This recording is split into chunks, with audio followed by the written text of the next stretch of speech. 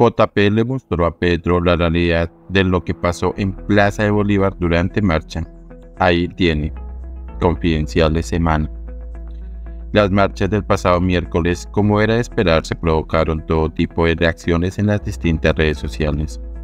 Algunos líderes de la oposición celebraron la masiva participación ciudadana que hubo en varias ciudades, mientras que el petrismo le restó importancia. Hoy tenemos manifestaciones de quienes no quieren cambiar el país.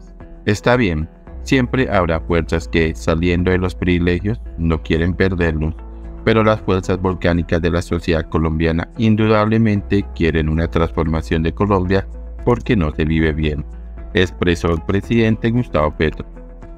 Ante estas declaraciones, el senador de la Alianza Verde, J. Hernández, no se quedó callado y compartió un nuevo video de lo que se vivió en la Plaza de Bolívar de Bogotá durante las manifestaciones.